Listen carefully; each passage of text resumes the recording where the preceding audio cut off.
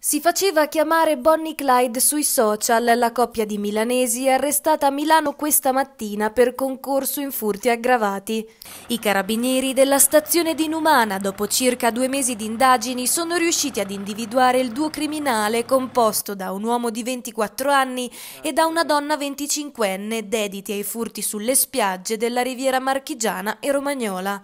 I due che utilizzavano come base un'abitazione di Iesi sono ritenuti responsabili di aver commesso 28 furti per un valore di circa 30.000 euro nelle province di Ancona, Pesaro Urbino e Rimini, sempre con lo stesso modus operandi. I due ladri, ritenuti specialisti dagli investigatori, vista la frequenza con cui effettuavano i furti, si posizionavano sulla spiaggia fingendosi bagnanti, per poi approfittare della distrazione delle vittime per derubarle di zaini, borsoni, marsupi e portafogli, lasciati incustoditi sotto l'ombrellone o sugli asciugamani. La coppia poi scappava a bordo dell'auto del ragazzo, una Golf di colore nero, abbandonando per strada gli effetti personali non di loro interesse. Tra le decine di furti messi a segno dai due malviventi, avvenuti in gran parte nelle spiagge di Numana e Senigallia, a finire nel Mirino lo scorso 26 agosto, sono stati tre minorenni residenti a Foligno che si trovavano a Torrette di Fano,